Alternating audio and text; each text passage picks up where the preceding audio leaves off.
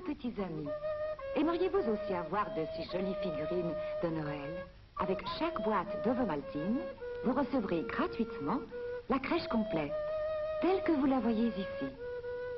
Il suffit de découper les personnages et de les faire tenir debout. Et déjà toute la chambre prend un air de fête.